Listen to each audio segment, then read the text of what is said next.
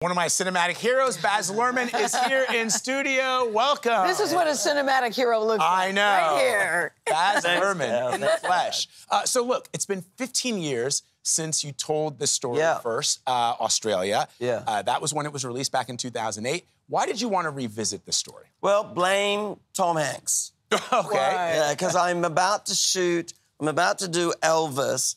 Tom famously gets COVID f- really first. He's one of the first people That's to get it. right. He shut Yeah. down. I'm like, what am I going to do? And I start looking at this two and a half million feet of film footage I shot.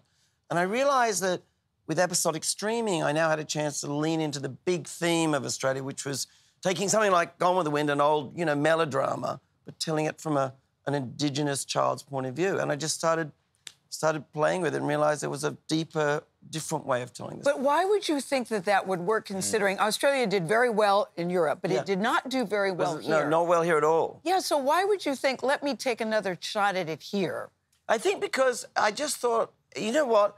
It's epic. I shot it as an epic. And in the back of my mind, Yeah. in those days, we all forget, you know, movies came out and you had one night, and it was, well, is it too long? Yeah. Is it compressed?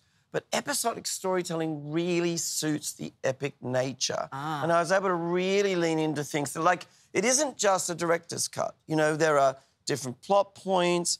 I work with these young Indigenous pop stars to make new music, which I think is great. The music is great, and Thanks, the fashion. We can say a special shout out to your Catherine wife, Martin. Catherine Martin. Yes. Shout out. Fashion is great, but this. I was telling uh, Vlad that I intended to watch one episode. Okay, maybe two, maybe two. I watched all six of them back to Thank back because I thought I don't have six hours to do to this. Because it's that good. But it's I that love it. good. I love that. No, I, I really mean it, Baz, because I I learned about this the stolen rights about this indigenous children. So real. This is a true story Yes. about and it the went way on that they until were the treated. 70s. It went Yes. on until Oh, the yeah. 70s. What is like- it exactly? Yeah, yeah. You know what? It really is a great scar on our country.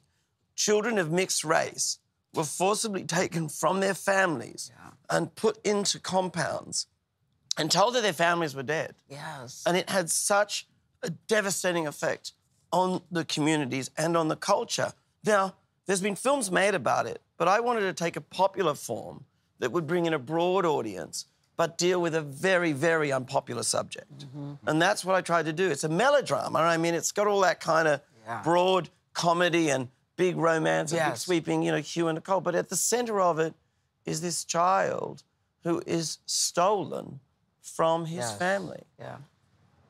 the film is told through that the child's eyes. Yeah. Um, and you change the ending. Yeah. Not going to give it away, but it's very different. It's than not the happy. original.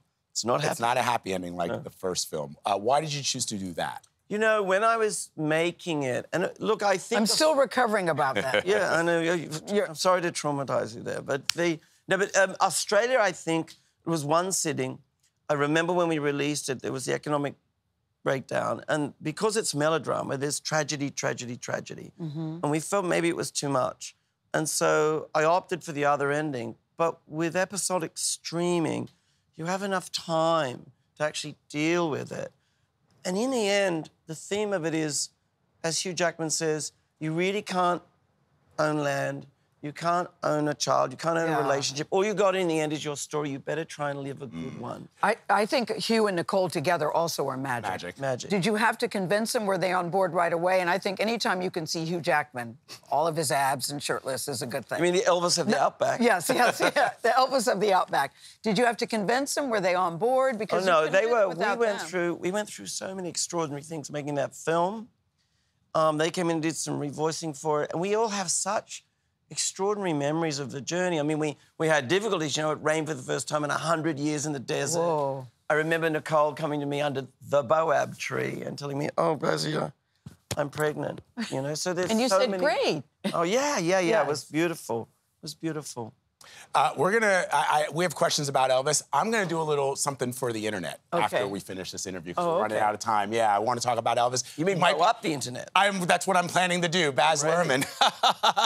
Always great to Congratulations. have you. Yes, Thank So good. So I great. really, I really good. love that you watched the whole thing. Oh no, we really We did. loved it. It was a great. So we, I loved Australia. I had to go back and watch the ending of Australia to make sure Right. my eyes weren't deceiving me. Well, they're like cousins. you know, the same but different. I love it. You can watch Faraway Downs right now on Hulu.